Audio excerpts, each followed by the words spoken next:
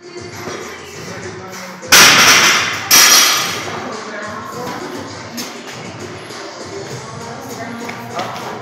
on, go, huh? Two hands, two hands. Come on now. All the way up to the top. Now that counts. Talking to you, James. No, come on, keep going. Do them right is what I'm saying.